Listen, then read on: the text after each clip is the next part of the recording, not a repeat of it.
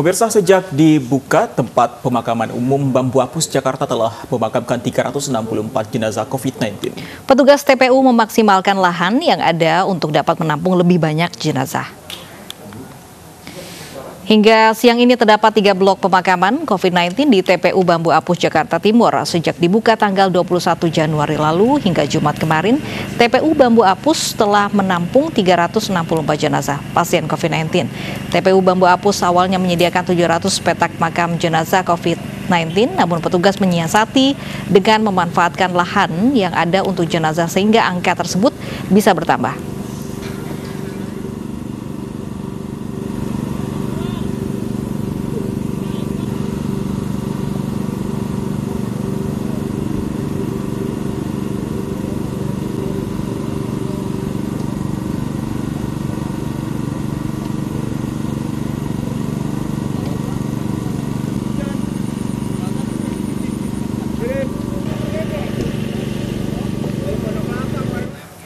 Ya, pemirsa petak makam untuk jenazah pasien COVID-19 di TPU Bambu Apus Jakarta dipersempit agar bisa menampung lebih banyak jenazah. Untuk informasi selengkapnya, ada rekan kami di Samora di sana. Disa, uh, ada berapa saat ini petak yang tersisa untuk memakamkan jenazah uh, pasien COVID-19 di sana?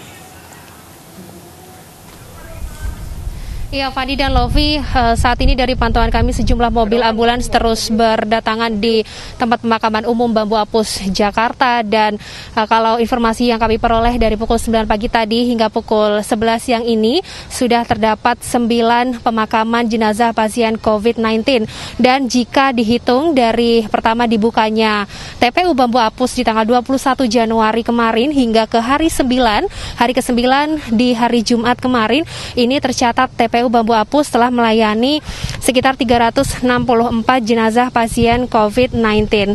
Dan uh, selain itu bahwa uh, kami tadi mendapatkan informasi ada siasat atau strategi yang dilakukan oleh petugas uh, eh, TPU untuk bisa menampung lebih banyak yakni mempersempit uh, uh, petak makam begitu dari ukuran 2,5 kali 1,5 uh, meter menjadi 2,2 kali 1,2 meter. Tadi kami sempat mengkonfirmasi hal ini kepada kepada petugas di makam uh, TPU Bambu Apus ini bahwa Hal tersebut tidak benar, namun yang benar adalah memanfaatkan lahan yang ada. Nah, kemudian bagaimana memanfaatkan lahan yang ada ini? Misalnya Fanny dan Lofi, antara makam yang satu dengan makam di sebelahnya, ini terdapat space atau jarak begitu. Nah, jarak inilah uh, lahan yang ada di sini, di, di jarak antara kedua makam ini bisa dimanfaatkan untuk memakamkan uh, jenazah pasien COVID-19.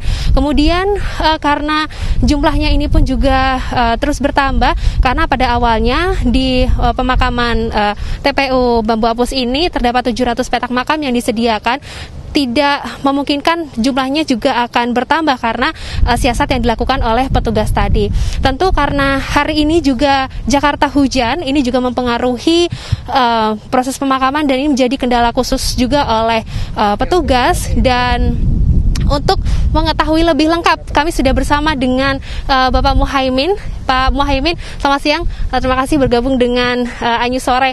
Bapak, yang ingin saya tanyakan, uh, yang pertama adalah kendalanya selain hujan, ini apa saja sih Pak dalam proses pemakaman uh, jenazah pasien COVID ini? Uh, kalau kendala berarti sih uh, tidak ada ya, kita biasa-biasa aja. Cuman memang uh, tanahnya nih agak sedikit berbatu.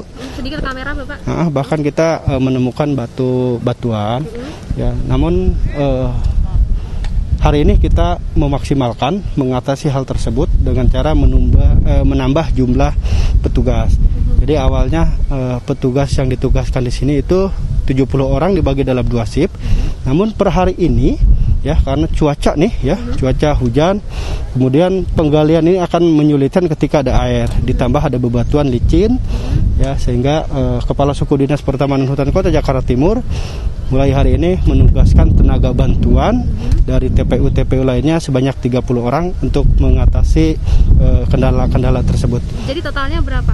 Total seluruh uh, petugas yang diterjunkan di TPU Bambu Apus ini, Pak? Uh, hari ini ada 60 orang 60 ya. Orang. Uh, nanti shift berikutnya ada 32 orang. Nah, untuk tenaga bantuan ini mereka uh, sampai jam 5 sore saja. Baik. Uh, Bapak mungkin bisa dijelaskan sekali lagi bagaimana siasat dari uh, petugas TPU Bambu Apus untuk bisa menampung lebih banyak uh, uh, pemakaman. Karena kan dapat informasi nih Pak saya bahwa lahannya ini dipersempit begitu. Tadi sudah dikonfirmasi Bapak sebelum kita live ini bahwa itu tidak benar begitu ya Pak.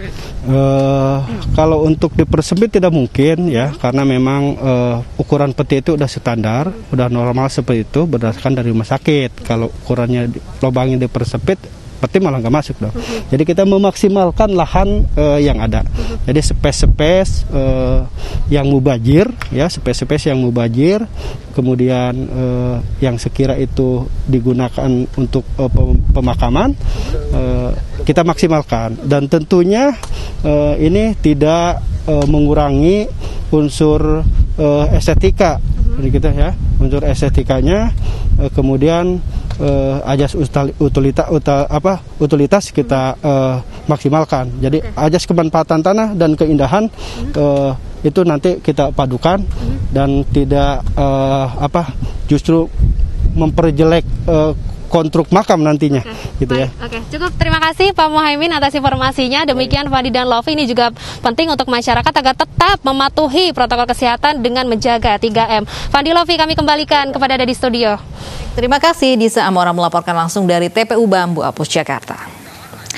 Tumpukan sampah menggunung di samping tol Jor Bekasi Barat, Kota Bekasi, Jawa Barat. Kami kembali dengan informasinya usai jeda.